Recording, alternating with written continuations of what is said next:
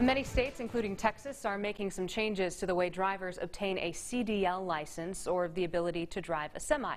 The rules are supposed to make drivers more prepared, essentially making our roads safer. The rules won't apply until 2020, but Amarillo College is already ahead of the game. KAMR Local 4's Meredith Avery talks about the new degree plan and what they're offering. That is some good news today.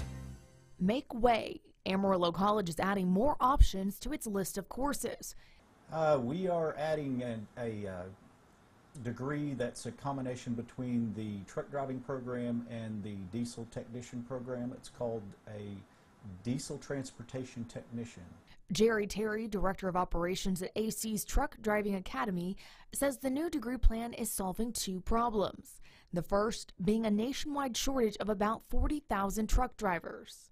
So it made sense for us to create a pathway for not only their students to be able to get their CDL, but it's also a good pathway for my students, the ones especially that plan on being an owner-operator. Uh, they'll be able, able to make their uh, the repairs on their own equipment. More importantly, though, the plan is put in place in response to new laws that are trying to make our roads safer. Well, there are some places that uh, train, well, I say, I say train CDL drivers and uh, we call them CDL mills. They get them just enough to get them a CDL and get them out the door. Trying to eliminate those individuals that are going through CDL mills and then getting out on the highway and they really don't know what they're doing. And, you know, they're a danger to everyone on the highway.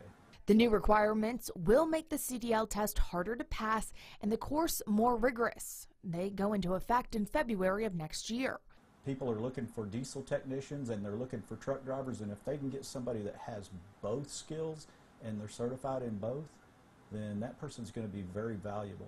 The new program will be available at Amarillo College starting in the fall. Current students will be able to adjust their course schedules to participate. In studio, Meredith Avery for KAMR Local 4 News.